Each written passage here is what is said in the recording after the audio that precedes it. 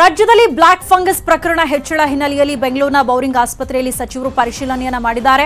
ಆರೋಗ್ಯ ಸಚಿವ doctor K Sudhakar, ಗೃಹ ಸಚಿವ ಬಸವರಾಜ್ ಬೊಮ್ಮಾಯಿ, ಕಂದಾಯ ಸಚಿವ ಆರ್ ಅಶೋಕ್ ಅವರು ಪರಿಶೀಲನೆಯನ್ನ ಮಾಡಿದ್ದಾರೆ. ರಾಜ್ಯದಲ್ಲಿ ದಿನೇ ದಿನೇ ಬ್ಲಾಕ್ ಫಂಗಸ್ ಪ್ರಕರಣಗಳು ಹೆಚ್ಚಾಗ್ತಾ ಇದೆ. ಬೆಂಗಳೂರಿನ ಬೌರಿಂಗ್ ಆಸ್ಪತ್ರೆಯಲ್ಲಿ ಸರ್ಕಾರ ಇದಕ್ಕೆ ಚಿಕಿತ್ಸೆಗೆ ವ್ಯವಸ್ಥೆಯನ್ನ ಮಾಡಿದೆ. ಹಾಗಾಗಿ ಬೌರಿಂಗ್ ಆಸ್ಪತ್ರೆಗೆ ಆರೋಗ್ಯ ಸಚಿವ ಡಾಕ್ಟರ್ ಕೆ ಸುಧಾಕರ್ ಬಸ, ಬಸವರಾಜ ಬೊಮ್ಮಾಯಿ ಅವರು, ಅಶೋಕ್ ಅವರು ಭೇಟಿ ನೀಡಿ ಪರಿಶೀಲನೆಯನ್ನ ಮಾಡಿದ್ದಾರೆ. ಬ್ಲಾಕ್ ಫಂಗಸ್ ಚಿಕಿತ್ಸೆಗೆ ಆಸ್ಪತ್ರೆಗೆ ಬೆಡ್ಗಳ ಸಂಖ್ಯೆಯನ್ನ ಹೆಚ್ಚಳ ಮಾಡಲಾಗಿದೆ. ಬೆಂಗಳೂರಿನಲ್ಲಿ ಇನ್ನೂರು ಬೆಡ್ಗಳ ಹೆಚ್ಚಳಕ್ಕೆ ಸುಧಾಕರ್ ಸೂಚನೆಯನ್ನ ಕೊಟ್ಟಿದ್ದಾರೆ. ವಿಕ್ಟೋರಿಯಾ ಹಾಗೆ ಬೌರಿಂಗ್ನಲ್ಲಿ ನೂರು ಬೆಡ್ಗಳನ್ನ ಹೆಚ್ಚಳ ಮಾಡಲಾಗಿದೆ. ಸರ್ಕಾರ ರಾಜ್ಯದಲ್ಲಿ ಸುಮಾರು ಆರು ಕಡೆಗಳಲ್ಲಿ ಬ್ಲಾಕ್ ಫಂಗಸ್ಗೆ ಚಿಕಿತ್ಸೆಯನ್ನ ಉಚಿತವಾಗಿ ನೀಡ್ತಾ ಇದೆ.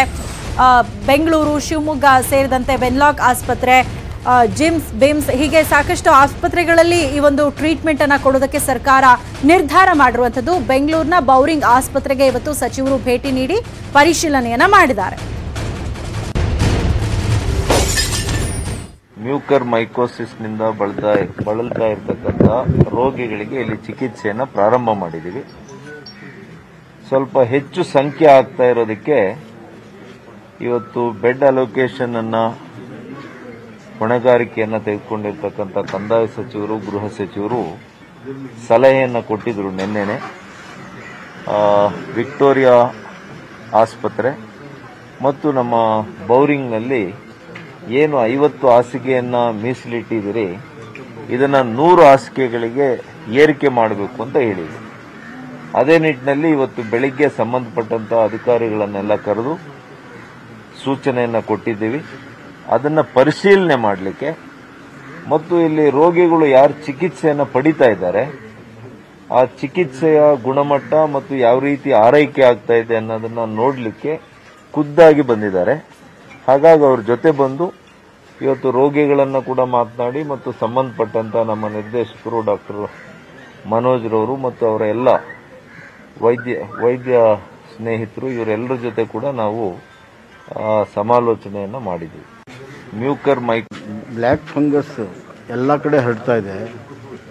ಹುಬ್ಬಳ್ಳಿ ಧಾರವಾಡ ಕಿಮ್ಸಲ್ಲಿ ಬೆಳಗಾಂನಲ್ಲಿ, ಇಲ್ಲಿ ಎಲ್ಲ ಕಡೆ. ಅದಕ್ಕೆ ಪ್ರತಿಯೊಂದು ಜಿಲ್ಲೆಯಲ್ಲಿ ಜಿಲ್ಲಾ ಆಸ್ಪತ್ರೆಗಳಲ್ಲಿ ಬೆಡ್ಡನ್ನು ರಿಸರ್ವ್ ಮಾಡಬೇಕು ಅಂತೇಳಿ ಡಾಕ್ಟರ್ ಸುಧಾಕರ್ ಅವರು ಹೆಲ್ತ್ ಈಗಾಗಲೇ ಆದೇಶ ಮಾಡಿದ್ದಾರೆ. ಹೀಗಾಗಿ ಪ್ರತಿಯೊಂದು ಜಿಲ್ಲೆಯಲ್ಲಿ ಐದರಿಂದ ಹತ್ತು ಬೆಡ್ಗಳನ್ನು ಇದಕ್ಕೆ ರಿಸರ್ವೇಷನ್ ಮಾಡೋದಕ್ಕೆ ಕ್ರಮವನ್ನು ಸರ್ಕಾರ ತೆಗೆದುಕೊಳ್ತಿದೆ.